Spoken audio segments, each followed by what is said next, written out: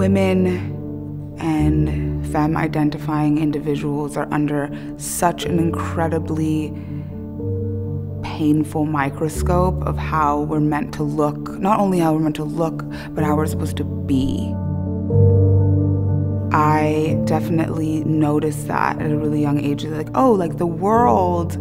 is reflecting how what gender is supposed to look like, what body is supposed to look like, how we're supposed to speak, how quiet we should be, how little we should know, but how we should be hard work. Like all of these very binary ideas of like how we're supposed to just exist. The posturing of being a woman, you know, is exhausting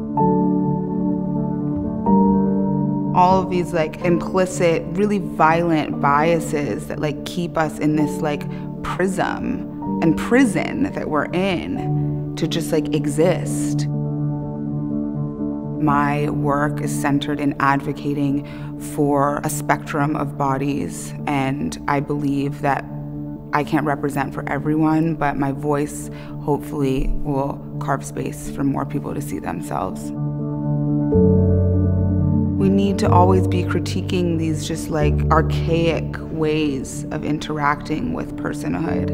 you know, and I think for me, as a model and an advocate for these issues, like fashion is a very powerful house to do that in. As a woman, I would love to see a world in which we don't have to perform what it is to be a woman, you know, get to see a space where